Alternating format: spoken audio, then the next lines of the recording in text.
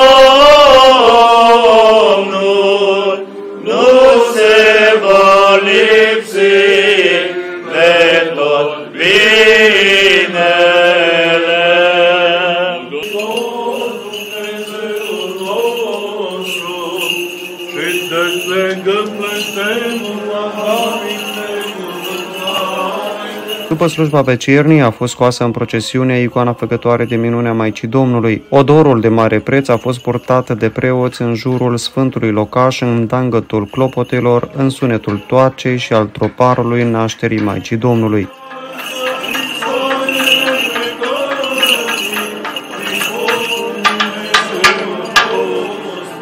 Doamne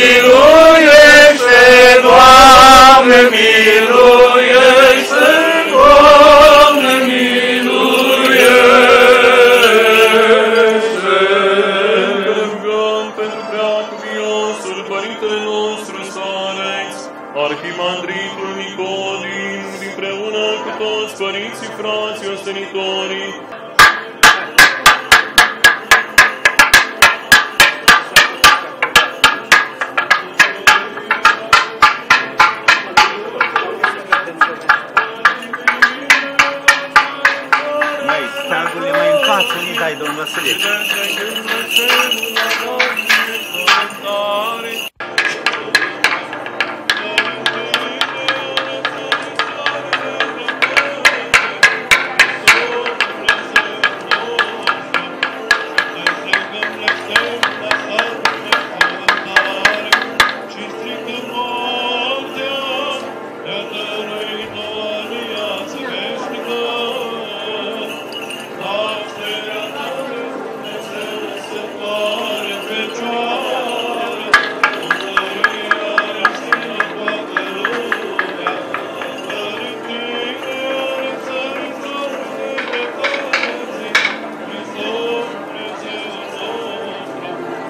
Predica de la final a fost ținută de către părintele Cosmin Gubernat, consilier cultural al Episcopiei Hușilor, care a vorbit despre cinstirea Maicii Domnului.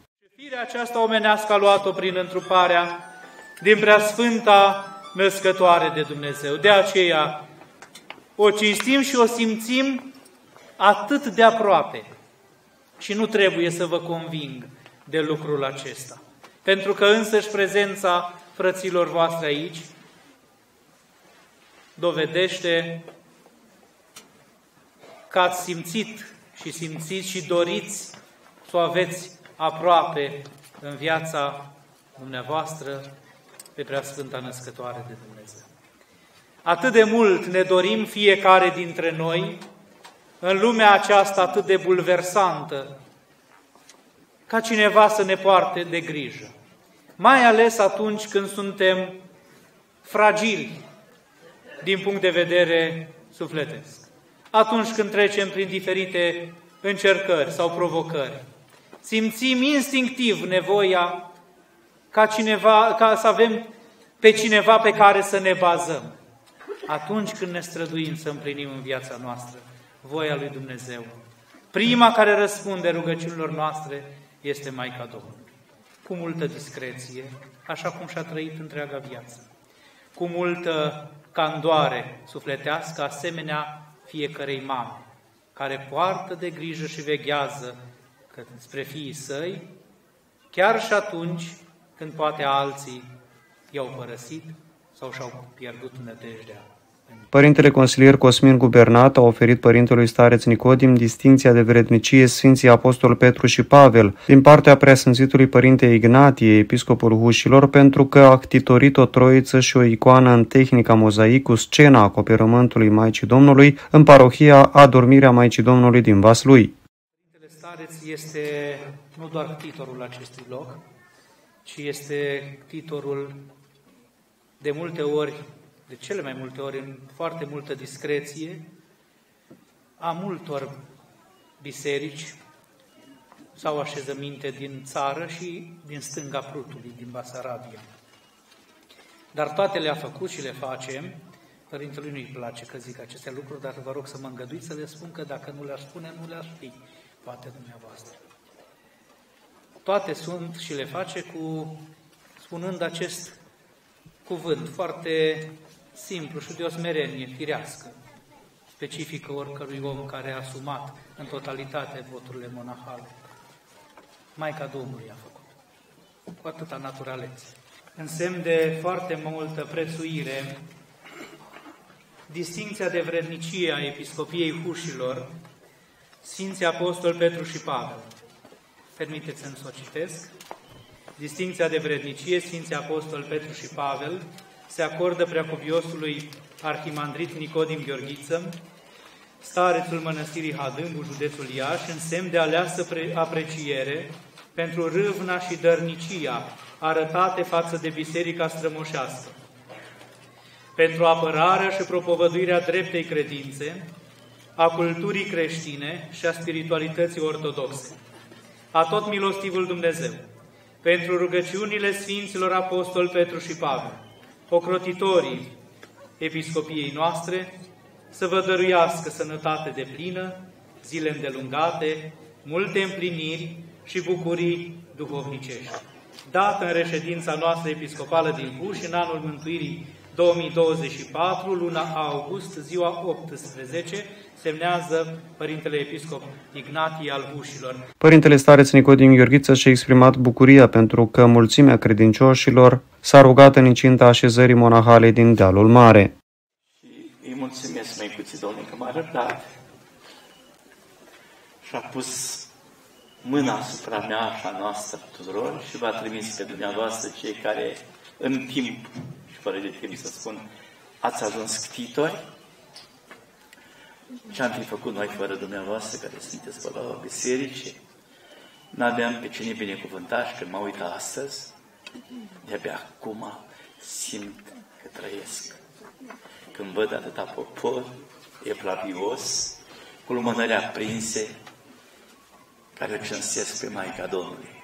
Și vă spătești pe dumneavoastră ori de câte ori, nu cu îndrăzneală, pe o șenie smerenie, plecând genunchii și capetele, doar sărătând, sărătând mânuța Mântuitorului Piciorușului și mâna Maicii Domnului. Și are grijă Măicuța Domnului. Mi-aduc aminte de o bătrânică de peste 80 de ani, care am făcut o căsuță cu o ploa în casă și stătea cu două pare în acoperiș. Și când nu avea lemne și mâncare, o vedeam că vine cu cârjă aici, tocmai din uh, Pocreaca, da, spune, da? Uh, ce faci? M-ai uitat? De așa văd. N-am mâncare, n-am căldură. Lasă, sărăiulea, că uite că n-am cu ce-ți duci la mașină. O să-ți duc eu. Nu-mi dai? Îi spun mama. Bine, mama mea avea o vorbă. Mama mea este Maica Domnului, mamă, te rog, scălugă matane mai puțin cu... Da, dar Maica Domnului știe că eu te-am născut. Te iubesc, mamă, dar n-am voie că scălugă ca altă dată. Îți mă rog pentru mata. Măicuța Domnul știi că și-o mama simțit că așa spune. Așa că aici fug. Ești, chiar când eram viață tot la Maica Domnului, plâng și strig la ea, dar avem nevoie câteodată, când spuneam eu să încheie un bătrân înaintea plecării la Domnul, a strigat-o pe mama, la 86 de ani sau un om Mamă, ajută să plec cu ușurință. Mamă, te striga. Hei, vezi? Cât de bătrân ai fi, mama rămâne sfântă și sacră. Da, măicuța scumpă, nu noi am venit să o veghem pe Maica Domnului, ci Maica Domnului ne veghează pe noi. Mulțumim, Preacuvenice Părinte Consilier, pentru surpriza făcută.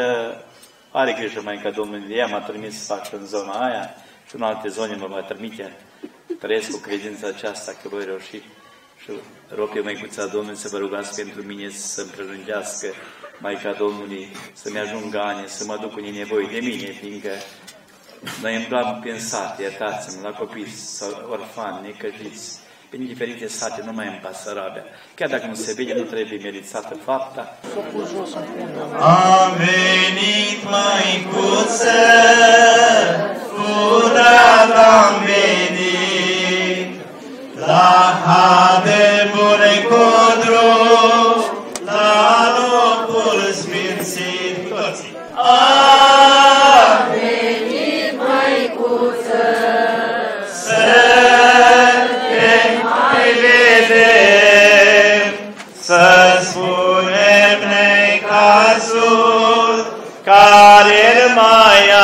avem. Cu toți cântăm. Roagă-te,